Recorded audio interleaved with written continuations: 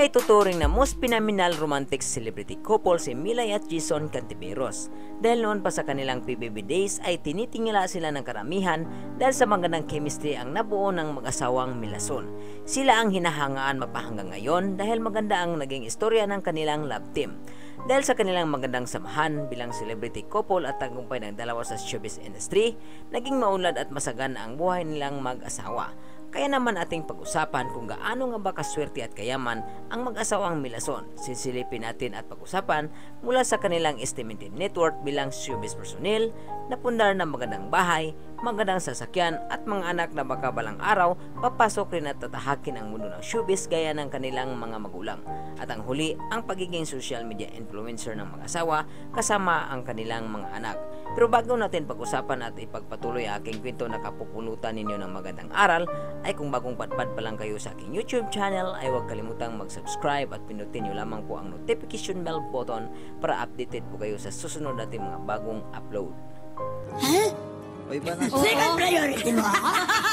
Kaya naging malapit si Milay at Jason nung magkasama sila sa bahay ni Kuya sa Pinoy Big Brother Double Up 2009 season dahil masyadong makulit si Milay at nagpakilig kay Jason dahil sa mga jokes ni Milay. Kabaligtara naman ang kanilang ugali dahil si Jason ay yung tipong seryoso at tahimik subalit sa kabila ng kanilang kaibahan ng pag-uugali, ito naman ang naging daan ng kanilang love chemistry sa mga panahong iyon na di lubos akalain ng dalawang newbie noon sa showbiz na ang kanilang biro-biruan harutan sa loob ng bahay ni Kuya sa PBB ay maging tadhana ng dalawa na maging forever at makabuo ng sariling pamilya at mga anak. Ang kanilang nabuong pag-ibig umano ang nagpo sa dalawa para magpatuloy sa loob ng bahay ni Kuya noon at ang kanilang komunikasyon sa loob ng PBB House ang nagpatibay sa kanilang samahan at pagmamahalan. Kaya maswerteng nagwagi si Milay noong 2009 PBB season dahil na-inspired si Milay sa kanyang natagpuang pag-ibig sa bahay ni Kuya. At 21 anyos pa lamang noon ang tubong jinsan nang manalo sa kanyang sinalihang reality show. Samantalang si Jason Francisco ay third placer naman, bagaman hindi nanalo si Jason dahil na rin sa follow-up show na Milason na katandem niya si Milay, pinagpantasyahan silang dalawa noon maging sa loob ng studio at out of town ng kanilang show dahil sa magandang chemistry na kanilang nabuo, hindi lang bilang scripted kundi reality love story. Lumipas ang apat na taon mula nang sumali ang dalawa sa PBB reality show ay ikinasal ang dalawa noong December 9, 2013 at buntis noon si Milay sa kanyang panganay na anak. At bago pa umano ikinasal si Milay kay Jason at nagkaroon sila ng kaunting gusot ay ipinagrosaryo umano ng nanay ni Milay na huwag na silang magbalikan.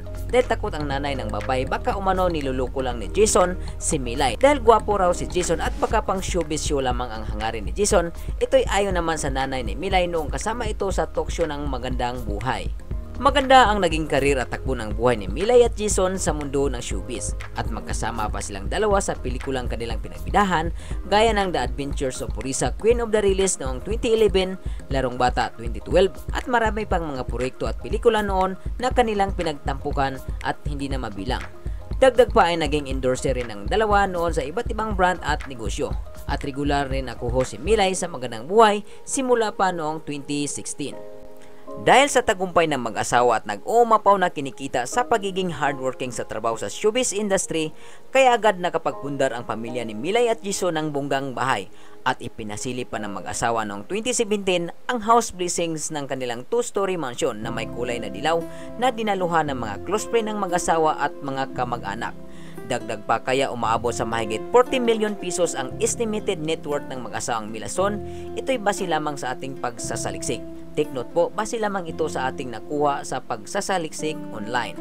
Dahil na rin maraming projects at binahari ng maraming taga-suporta ang kanilang YouTube channel na umaabot sa mahigit isang milyon ng subscribers kasama ang kanilang ang dalawang anak na babae na picture sa kanilang vlog.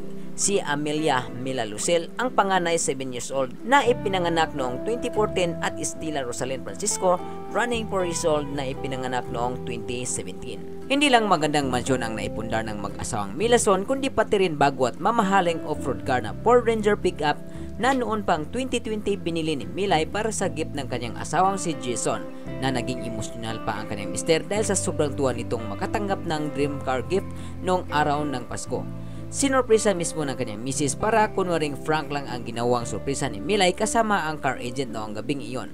Matagal na umanang pangarap ng kanyang mister na magkaroon ng pickup truck kaya ito ang napiling Christmas gift ni Milay para sa mister na may estimated price na aabot sa halagang 1.9 million pesos. Sa kabila ng masayang pagsasama, tagumpay sa hirap at ginhawa bilang celebrity couple ng Milason, ay may nakatagong lihim rin sa likod ng kanilang ngiti at kasiyahan bilang isang pamilya na hinahanga ng karamihan maging mga kapwa-artista Bago nila nakamit ang masayang pagsasama bilang most beloved couple, dumanas rin si Mila at Jason ng love struggle noong panahon ng kanilang bagong pagsasama bilang mag-asawa.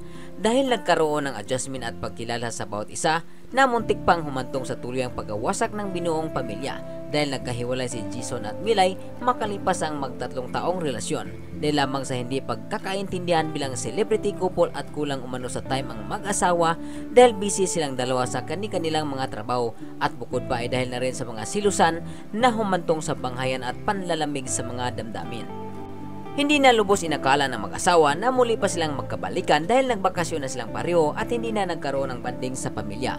At umuwi na rin si Jason sa Mindoro, ang kanilang anak ang pangunahing dahilan umano upang muling magkabalikan si Mila at Jason na naghiwalay sa loob ng anim na buwan ang kanilang anak ang naging tulay upang muling magkadikit muli ang kanilang puso na dumanas ng malaking pagsubok bilang mag-asawa. Si Milay umano ang nagpakumbaba para muling mabuo ang kanilang pamilya at pinuntahan niya ang kanyang mister sa Mindoro para pag-usapan ang kanilang problema sa pamilya. Dahil ayaw ng mag-asang maging kaswalti ang kanilang anak sa away mag-asawa. Ito ay naging malaking aral ng Milason at dito nakikilala nilang lubos ang bawat isa dahil sa malaking unos na sumapit sa kanilang buhay at mula noon naging matatag na ang Milason couple at alam na nila kung paano pagtagumpayan ang mga unos sa buhay mag-asawa dahil kanilang naranasan noon. Sa ngayon ay namumuhay na ng tahimik si Milay at Jason kasama ang kanilang dalawang anak na babae at patuloy na nagbibigay ng magandang mensahe sa mga mag-asawa para mabigyan ng magandang gabay upang maiwasan ang naranasan nila noon. At kung nagustuhan ninyo ang aking ginawang video ngayon ay huwag kalimutang mag-iwan ng likes at i-comment nyo lamang ang inyong mga suggestion para sunod nating pag-usapan. Maraming salamat po at God bless.